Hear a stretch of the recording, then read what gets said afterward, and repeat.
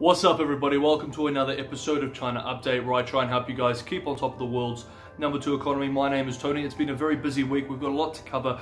I've just come back from a business trip to Beijing, so this is coming out Sunday evening. I couldn't cover everything I wanted to in this uh, video this week, but there are some key things we need to cover so we're on top of things as we move into next week. So I hope you guys enjoy it. So let's just jump in. First up, we're going to discuss the G7 and NATO meetings that we've seen recently, which has had a greater focus on China than in the past. These are the mentions of China in the G7 uh, communique, the statement uh, released uh, over the last week, which show us key concerns from these European nations, the US and Japan. Quote, we also call for a timely, transparent, expert-led and science-based WHO convened phase 2 COVID-19 origin study including as recommended by the experts' report in China. At the same time, and in doing so, we will promote our values, including by calling on China to respect human rights and fundamental freedoms, especially in relation to Xinjiang and those rights, freedoms, and high degree of autonomy for Hong Kong enshrined in the Sino-British Joint Declaration and the Basic Law. We underscore the importance of peace and stability across the Taiwan Strait and encourage the peaceful resolution of cross-strait issues. We remain seriously concerned about the situation in the East and South China Seas and strongly oppose any unilateral attempts to change the status quo and increase tensions. End quote. So we can see three key themes here. The first is COVID, the second is human rights, particularly in Xinjiang and Hong Kong, and the third are geopolitical flashpoints around the territorial periphery of the PRC. Now, the PRC reaction to the G7 statement uh, was as expected. Quote, the communique issued fact distorting content on Xinjiang, Hong Kong, Taiwan, and other matters, confounding right and wrong. This wanton smearing of China and blatant interference in its internal affairs frequently violates the basic norms of international relations and further exposes the ulterior motives of a handful of countries, including the United States. We are gravely concerned and firmly opposed to this. End quote. Unsurprising, unsurprisingly, too, state media uh, pushed the uh, imperialism narrative, expressing, without a hint of irony, quote, Yet it seems that such a zero-sum mentality still prevails in the capitals of some nations. And it seems that some of the decision makers of these countries still refuse to wake up from their imperial colonial dreams. End quote. And Foreign Ministry spokesperson Zhao Lijian, in his characteristic uh, manner, adopted more radical language in responding to the NATO meeting, which was also held over the last week, expressing at a press conference, quote, NATO has a long history of poor records and the international community will not forget the 78 days of indiscriminate bombing of Yugoslavia by NATO without the approval of the UN. And the Chinese people will never forget the historical tragedy of the bombing of the Chinese embassy in Yugoslavia. NATO owes a debt of blood to the Chinese people. End quote. According to the latest National Reproductive Health Survey in the PRC, China has seen its, its infertility rather infertility rate rise from 12% in 2007 to 18% in 2020, meaning that one out of every 5.6 couples of childbearing age faces difficulties in having a child. To put that in perspective, the infertility rate in the United States is between 6 and 8%, and global rates sit at between 12 to 15%. Earlier this year, uh, an expert in Jiangsu uh, had estimated that infertility in China would rise to 18% by 2025, suggesting that this jump in infertility has occurred much sooner than expected and the situation may well continue to deteriorate. Of course, on the individual family level, this process is devastating to many couples who want children who can't have them. But for our purposes here, we need to think about what this means for policymakers in Beijing who are already deeply concerned about a rapidly aging population and historically low birth rates. Both things that we've discussed a lot over the last few months already. This increase in infertility can now be added to the shrinking number of women of childbearing age, as well as the wider social phenomenon of couples choosing to have fewer children as the main hurdles facing policymakers wanting to slow China's demographic collapse. If you guys enjoying the content, don't forget to hit that like button. It's a huge help for a new YouTuber like myself. It tells the algorithm that this is real content from a real creator, which is particularly useful since a lot of these subjects are not promoted by YouTube because they're deemed as sensitive. And I want to take this opportunity to say a big thank you to my Patreon supporters. You guys are awesome. Thank you so much for supporting a new channel. I think it is important to listen to outspoken public uh, intellectuals and uh, influential officials in government in the current nationalistic climate that are shaping public discourse and ideology within the PRC. Some have tremendous influence on policymakers and even some in the Han Chinese diaspora around the world who share these nationalistic worldviews.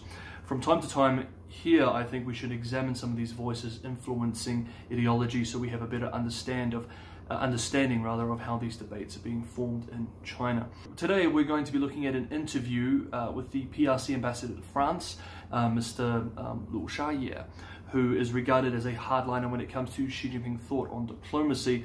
This interview has made quite a few waves domestically here and internationally. I have shortened the quotes that we're going to look at here for brevity's sake, and the original is uh, the original interview was in Chinese, and I will include a link in the description below. Quote. Wolf warrior diplomacy is the label that the West has attached to China in recent years. Just as an aside here, guys, we should note that the label Wolf Warrior Diplomacy was actually first coined in the PRC state media before it became popularized in international media. In fact, I, re- I distinctly remember reading it in state media before seeing it in English. We'll continue. Behind this is not only the West's inability to adapt to the change of China's diplomatic style, but also the West's anxiety about China's rise. There is a powerful anti China force in Western society, which wants to attack and discredit China unilaterally without any response from China. When China responds and fights back, they are unhappy. Westerners accuse us of not conforming to diplomatic etiquette. But the standard for us to evaluate our work is not how foreigners look at us, but how people in China look at us, whether it is in the interest of our country and people, whether our people are satisfied or not. Our work is evaluated by these standards, not whether foreigners are happy or not. End quote. What is important uh, for us to understand here is that when, when we look at this language, we can see that he's not just saying this, he truly believes uh, what he is saying here. And this is a deeply held worldview of Han Chinese nationalists, I believe, from key um, diplomats to officials and many in the middle class. Uh, there is a deep sense of grievance in this worldview, as well as uh, moral righteousness, a potent element of any ideology. We'll continue with the quote. Quote, in the previous era, perhaps the whole diplomatic arrangement sought a more conciliatory atmosphere.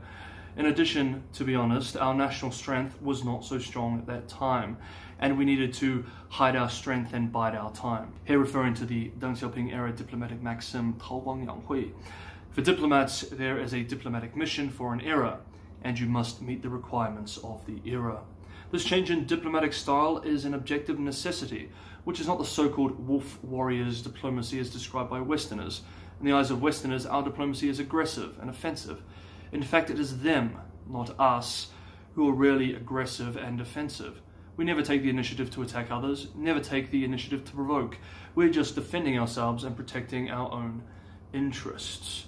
Our capacity to engage in the struggle is improving all the time. At this pace, I believe we will do better and better in coming years.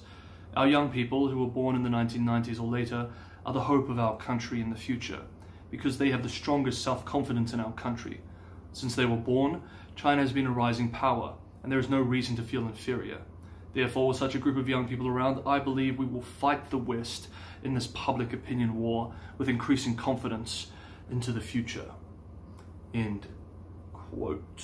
On Thursday, Hong Kong's National Security Police arrested the editor in chief and four directors of the Apple Daily newspaper for, quote, collusion with a foreign country or with external elements to engage uh, to endanger national security, end quote, in breach of Article 29 of the National Security Law, which was imposed by Beijing over the Special Administrative Region of Hong Kong last year.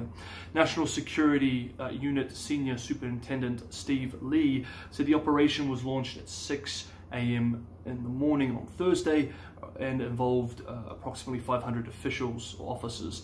He said 18 million Hong Kong dollars worth of assets have been frozen. Mr. Lee said that the alleged offence involved around 30 Chinese and English language Apple Daily articles published from 2019, suggesting that the national security law will indeed be enforced retroactively. Uh, state media here in the mainland were very supportive of the arrests. Quote, the basic law guarantees Hong Kong residents can enjoy freedom of speech, press, and publication. But none of these rights and freedoms are borderless and cannot cross the bottom line of national security. End quote. A piece uh, by out, uh, outspoken academic Tian Fei Long may give us a clue as to what may be next for Hong Kong in the future. He wrote this week in a piece, quote, Unfortunately, under British colonial rule in Hong Kong, the narrative of the Kuomintang and the distortion of various anti-communist forces, Hong Kong society has experienced a considerable degree of anti-communist thoughts and actions, and have always been in the state of struggle with the tradition of patriotism and love for Hong Kong. To exercise these mistaken ideas of the West, Hong Kong people must be taught the true history of the party. End quote. Okay, guys, I know that was a short one. I'm sorry. Like I said, I just got back Sunday night from Beijing, but there are a few things that I really want to cover. I hope you uh, enjoyed the episode and found it interesting. Throw your views below, as always, if you want to discuss anything. And as always, I hope you're staying safe, staying sane. I will see you next time on China Update.